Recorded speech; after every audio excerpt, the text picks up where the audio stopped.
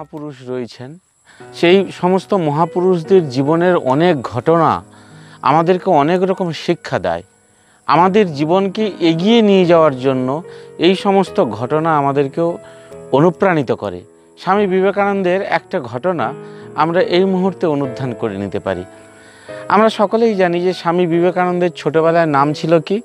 নরেন। আরও ছোটোবেলায় নাম ছিল বিলে। তো তিনি আমাদের মতো প্রাইমারি স্কুলে যেতেন। এই প্রাইমারি স্কুলের একটি ছোট্ট ঘটনা। তিনি একবার স্কুলে গেছেন। স্কুলে যাওয়ার পরে যেমন হয় ক্লাসের মধ্যে বসেছেন। মাস্টারমশাই এসেছেন। ক্লাসে মাস্টারমশাই এসে প্রশ্ন করেছেন। তো ওই মাস্টারমশাই ভূগোলের শিক্ষক ছিলেন। ভূগোল সংক্রান্ত প্রশ্ন করে থাকবেন। সেরকম কেউ উত্তর দিতে পারেনি।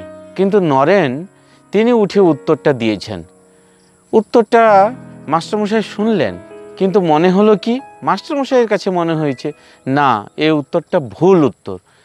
তো সেই মাস্টারমশাই সঙ্গে সঙ্গে বললেন যে, নরেন, তুমি ভুল বলছো। কিন্তু নরেন অত্যন্ত দৃঢ়তার সঙ্গে, অত্যন্ত নিশ্চয়তার সঙ্গে বলছেন কি, স্যার, আমি কোনো ভুল উত্তর দেইনি, আমি সঠিক উত্তর দিয়েছি। কিন্তু স্যার ভাবলেন কি, না। তিনি স্যার বারবার বলতে শুরু করলেন যে, নরেন, তুমি ভুল উত্তর দিয়েছ। কিন্তু নরেনও ছাড়বার পাত্র নয়। তিনি বারবার বলছে বলছে, স্যার, আমি সঠিক উত্তর দিয়েছি, আমি নির্ভুল উত্তর দিয়েছি। স্যারের মুখের উপরে কথা, আর তো সহ্য হয় না। স্যার আবার যে বলেছেন, নরেন একই কথা বলেছে, বলছে, স্যার, আমি সঠিক উত্তর দিয়েছি। এইবার স্যারের আর সহ্য হলো না। তিনি সঙ্গে সঙ্গে ওই চেয়ার ছেড়ে এগিয়ে এলেন। এসে নরেনকে ধমকের সুরে বলছে, নরেন, তুমি ভুল উত্তর দিয়েছ, কিন্তু নরেন ছাড়বার পাত্র নয়। তিনি আবার সে একই কথা বললেন, স্যার, আমি সঠিক উত্তর দিয়েছি।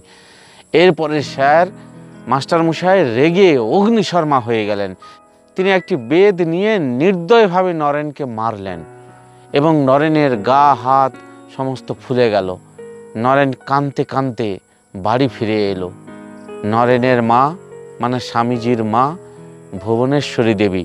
তিনি সঙ্গে সঙ্গে দেখলেন যে এবং নরেনকে জিজ্ঞেস করলেন যে, নরেন, কি হয়েছে বাছা? তোমার এইরকম গা ফুলে গেছে, তুমি কাঁদছো, স্কুল থেকে ফিরে এলে কি হয়েছে?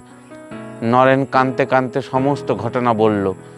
সঙ্গে সঙ্গে ভুবনেশ্বরী দেবী নরেনকে কোলে তুলে নিয়ে মাথায় হাত বুলোতে বুলোতে বোঝানোর মতো করে বুঝিয়ে বুঝিয়ে বললেন, নরেন, তুমি সঠিক উত্তর দিয়েছে তো? সঙ্গে সঙ্গে নরেন বলছে হ্যাঁ মা।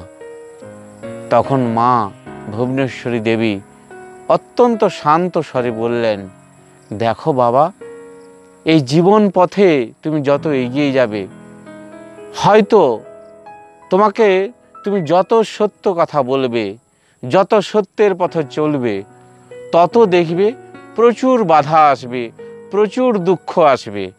যত কষ্ট আসে আসুক, যত আঘাত সহ্য করতে হয়, করবে।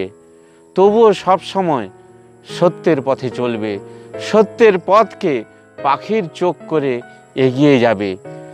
তার জন্য যত কষ্ট পেতে হয় যত যন্ত্রণা পেতে হয়, যত দুঃখ পেতে হয়, বুক পেতে নেবে। তবুও সত্যের পথে সব সময় থাকবে। যদি মার খেতে হয়, মার খাবে। তবুও সত্যের পথে থাকবে। তাই পরবর্তীকালে স্বামী বিবেকানন্দ তিনি বারবার বলতেন, আমি আমার জ্ঞান বিকাশের জন্য, আমি মায়ের কাছে ঋণী। এবং এই যে সত্যকে ধরে থাকা, সত্যকে ধরে একটা জীবন যাপন করা, যত দুঃখ, কষ্ট আসুক না কেন, সত্যকে কখনো না ছাড়া এই রকম একটি উদাহরণ তিনি দেখেছিলেন শ্রীরামকৃষ্ণের জীবনে। এবং শ্রীরামকৃষ্ণ তার যে জীবন, তার জীবন ছিল সত্যকেন্দ্রিক। তিনি ভবতারিণী মা, অর্থাৎ দক্ষিণেশ্বরের যে ভবতারিণী মা, ভবতারিণী মাকে তিনি সমস্ত কিছু দিয়ে দিয়েছিলেন। শ্রীরামকৃষ্ণ এই নাও তোমার ভক্তি, এই নাও তোমার মুক্তি, এই নাও তোমার জ্ঞান, এই নাও তোমার অজ্ঞান। তিনি বলছেন যে, আমি মাকে সব কিছু দিয়ে দিলুম, কিন্তু একটা জিনিস দিতে পারলুম না, সত্য। তাই আমাদের জীবনে যত বাধা আসুক, যত কষ্ট আসুক, যত দুঃখ যন্ত্রণা আসুক, আমরা যেন সবসময় সত্য পথে চলি।